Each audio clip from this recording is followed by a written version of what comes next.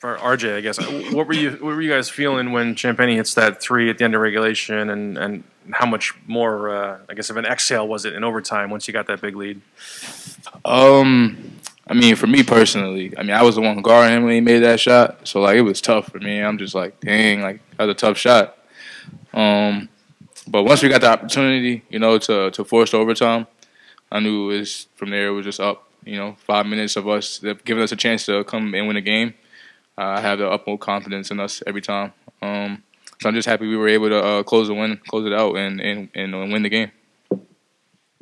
Adama, what's the to your right? Yeah. Hey, uh, what's the feeling like going to the line with one second left and a game on the line? It felt good, you know. Uh, before the shot, I was a little bit nervous, but I was like, uh, uh, two shot. I just need to make one so we can go so we can go over time again. So it was pretty good, you know. Cause that shot, I think that shot was for me to take. Yeah, so pretty good. Yeah, yeah. I was nervous.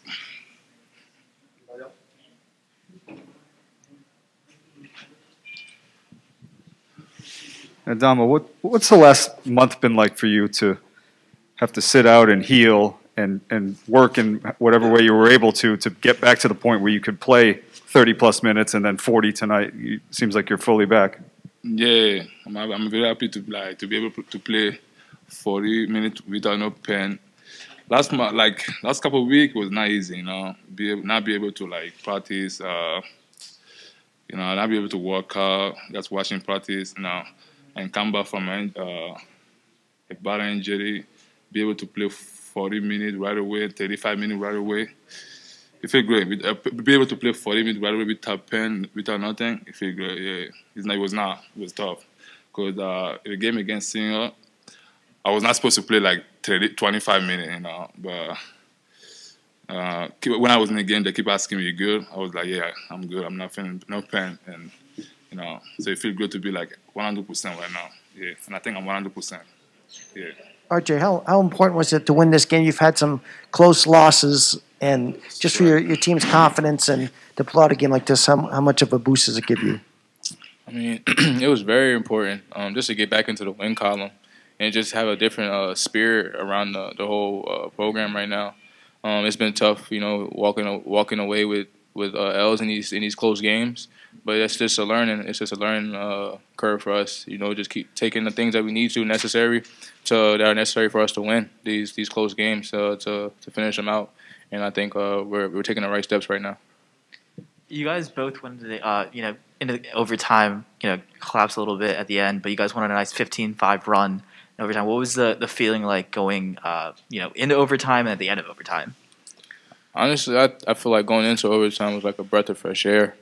It was just another opportunity for us to another basketball game. You know, five minute basketball game, small war, um, and we had to you know close it out. Um, I felt like we knew that we were it was going to be a tough overtime war, but you know we were we're talented enough to to pull these games out.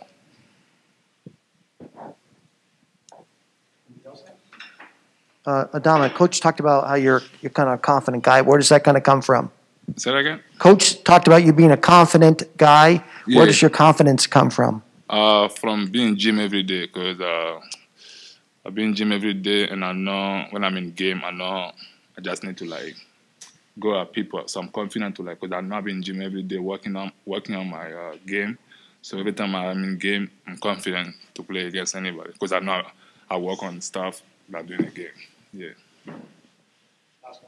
Uh, RJ, can you just talk about what a difference Adama makes to the team? It just seems like he puts everybody else back in their correct role where they should be when he's back and playing well. um, yeah, I mean, Adama's big time. Um, he's huge for us, you know, offensively and defensively. Tonight is a prime example of what he did for us on both ends of the floor.